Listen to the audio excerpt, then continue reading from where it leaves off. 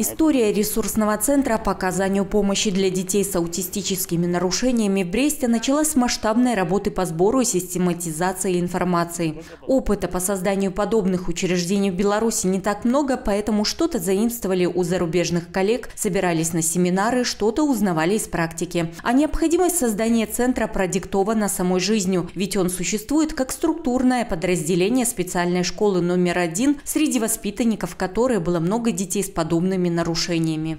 Для нас эта структура новая, она новая в республике, поэтому нам необходимо как бы, искать какие-то новые формы, пути. Что-то привносили свое, что сегодня наработано в Республике Беларусь. Конечно, исходили из законодательства Республики Беларусь. Вот. Э, почему мы стали это делать? Потому что очень много детей с аутизмом приходят к нам в школу. Им, конечно, нужна специальная помощь. Она не может быть скажем так, универсально для всех категорий. На базе ресурсного центра с каждым из таких детей есть возможность работать по индивидуальной программе и особым методом. Для этого профессионалы, учителя, дефектологи, IBA, терапевты, специалисты по сенсорной интеграции, биофидбэку, системе Томатис, которые знают все нюансы и специфику реабилитации и проводят занятия в специально оборудованных для этого кабинетах. Наш центр э, оснащен э, огромным количеством оборудования оборудование, которое направлено на а, улучшение сенсорных ощущений, в частности, таких как а, а, тактильные, проприоцептивные, зрительные, слуховые, вестибулярные. Если в общем вестибулярное оборудование, оно решает вопросы у детей с гипочувствительностью, гиперчувствительностью и поиском вестибулярных ощущений. Сейчас мы находимся в кабинете а, лего-терапии. Здесь проходят занятия по конструированию.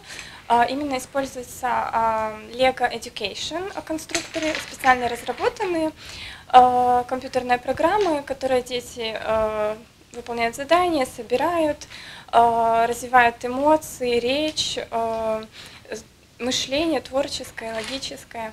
Родители обращаются с конкретными жалобами и нежелательным поведением ребенка. Их приглашают на консультацию, ставят ребенку диагноз, а далее с детьми начинается коррекционная работа по различным направлениям. Одним из таких методов является БОС-терапия. Метод основан на электроэнцефалограмме.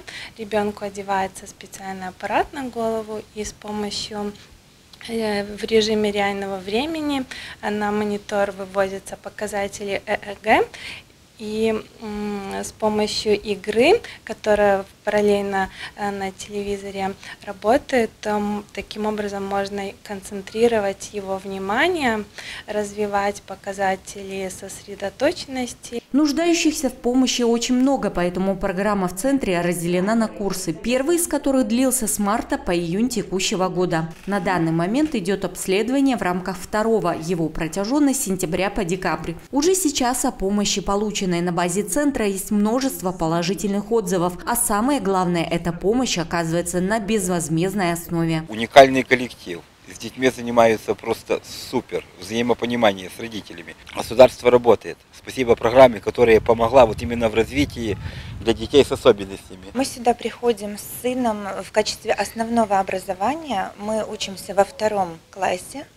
В данном центр попали вот в этом году только. Главное, что ребенку комфортно, и он получает именно то, что может освоить, скажем так, и находится в достаточно комфортных условиях. Несмотря на то, что центр отвечает современным требованиям и оснащен качественным оборудованием, он постоянно развивается и совершенствуется. Впереди много планов. Так уже в стадии подготовки находится комната социально-бытовой адаптации, которая будет создана при помощи благотворительного фонда «Новое поколение» при поддержке предприятия «Газоаппарат». Здесь воспитанники смогут в комфортных условиях сформировать важные навыки навыки самообслуживания, которые каждому из них пригодятся в повседневной жизни.